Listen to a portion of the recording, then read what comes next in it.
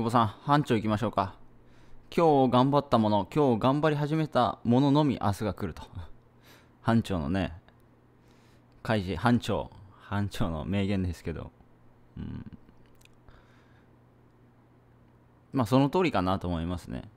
うん、まあ結局今日の何やったかが明日につながって今日何もやらなかったら明日にはつながんないですよね。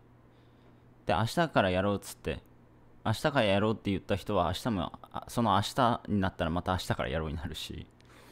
やっぱ先延ばし先延ばしするっていうのがまあベターですから。うん。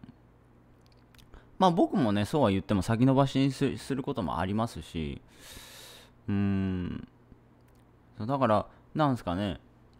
今日やらないともう無理っていう状態だと今日やるので。だから僕もなんだっけ昨日から商品販売してるんですけどもその商品を提供するポータルサイトですね先延ばしにしまして でももう売ってんすよね。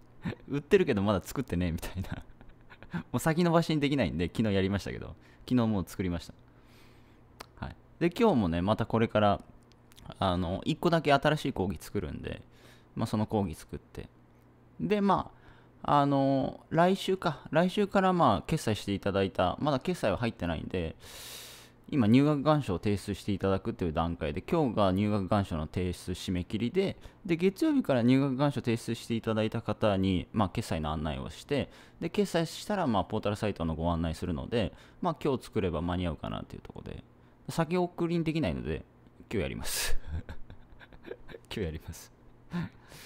うん、でももう枠は作っちゃったんでもうあとその1個作るだけで終わりなんでできるかなっていう。そう。まあほとんどはねやっぱ先送りにしちゃいますからね。まあ明日やろうはバカ野郎みたいな言葉もありますけどもバカ野郎ではなくなんすかねいいんじゃない明日でっていう。まあそれはそれでそういう生き方ですから。うん、でもまあ年取って思うのがやっぱなんすかねやっぱ今うーんまあ久保さんも感じてると思いますけど多分久保さんも相当感じてると思うんですけどいっぱい死んでんじゃないですか。いっぱい死んでますよね。いろんな人。あれあの人がみたいな。うん。だから本当僕も年取ってそれはすごく感じますよね。もう先送りできなくなるっていう。どうもう死死に近づいてるっていう。やりたいことやっとかんともうできなくなるなっていう。うんそう。まあ時間は無限にないですからね。でもなんか日々生きてると時間が無限にあるんじゃないかみたいな。ないんですよ時間は。もう決まってるんで。うん年取るし老けるし。そうだからこの前その久保さんの10久保さんの十何年前のね対談あの東京の対談ちょっと見ましたけど久保さんめちゃくちゃ若いですよね。なんかイケイケな感じで。こんな時も久保さんあったんだなみたいなイケイケな感じですよね。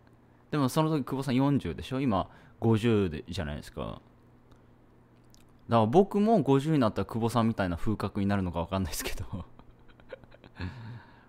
や、早いっすね。本当にあっちゅう間ですよ。なんか昨日のことのように思い出せるんですけど、でも時間を待ってくれないんですよね。